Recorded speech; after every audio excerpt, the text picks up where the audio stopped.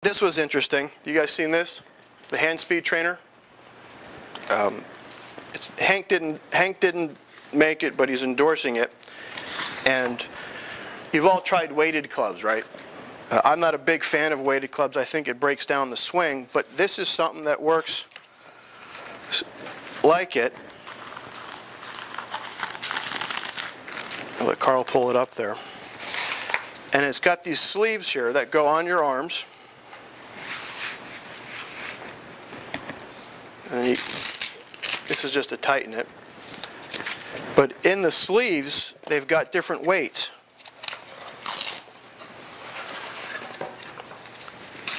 So they've got, I believe it's three, it's four and eight ounce weights. So you, and you can add the two if you want. So you start with a four ounce weight, put it in the sleeve, and instead of making the club heavy, it makes your arms heavy to help with swing speed. Uh, I've tried it out a couple of times. I thought it was pretty interesting. Definitely like it better than a weighted club because weighted club, you know, it breaks it breaks the swing down, especially for the student who can't hold on to it.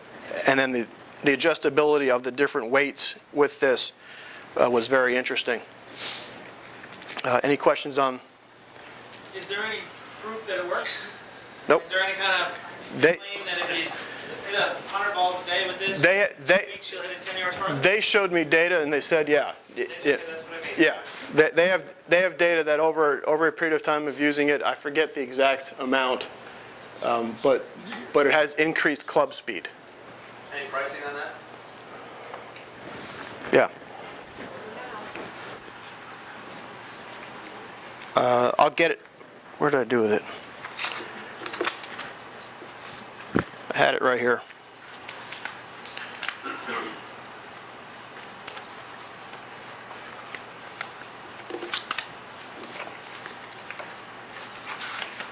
I'll find it, I'll, I'll find it afterwards. I've got it in here somewhere.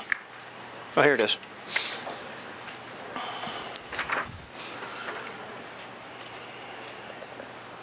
And actually, here, here's where it claims.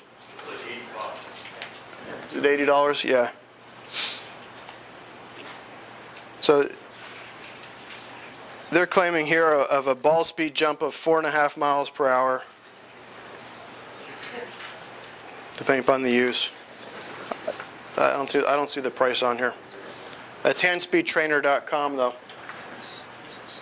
Just something good. Yeah.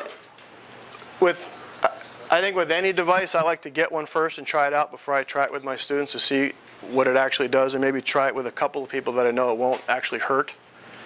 Um, and there's always, I always find there's a use, you know, it, it works for somebody. maybe not everybody. Any questions about that?